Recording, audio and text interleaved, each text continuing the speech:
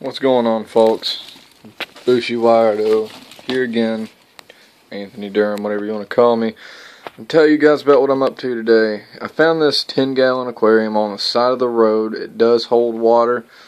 Total score. Um, so what I'm going to do with it is I'm going to set up an experimental tank with uh, to grow out wild harvested plant specimens uh, for various reasons, either for domestication for use in the aquarium, ponds, or uh, even to eat, because a lot of aquatic plants are edible. Um, our favorite nuisance plant here, duckweed, is in fact edible. It's high protein, and actually, it's really good for you. Uh, I wouldn't definitely go like dig a handful up out of the swamp and toss it in your mouth or anything. But uh, if grown properly in clean environments, well, I say properly, I think all you gotta do is put the crap in something with water and it'll grow. But if it's grown in a clean, controlled environment, it'll uh,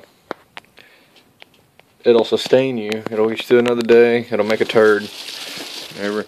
Um, so what I'm gonna do with this tank is I'm gonna go with this uh, Nature's Choice Organic Miracle-Gro. This is supposedly what has replaced the uh, the stuff in the brown bags that we've all been using for years. I'm gonna mix in a little Activ-Flora. I got this bag at a bargain hunt store for $24. Uh, it started out as $24. I paid five for it. By the time you know it hit the shelf in November, it sat there. The reason it sat there so long is because this stuff normally comes wet, and this bag had a hole in it and dried out, so I got it for five. So um, I think I'm actually going to sprinkle a little Osmocote down as well. I don't have anything else to put in this tank other than as far as substrate goes, as far as these uh, three things.